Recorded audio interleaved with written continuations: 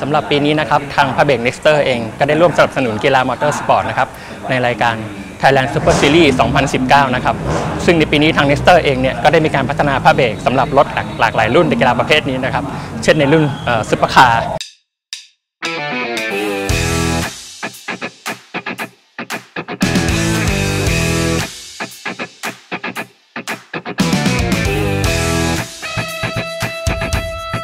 ก็ทั้งนี้เพื่อให้นักแข่งมีความมั่นใจในการใช้ผ้าเบรกนะครับแล้วก็ควบคุมการขับขี่ได้อย่างดี แล้วก็มีความปลอดภัยมากยิ่งขึ้นครับผม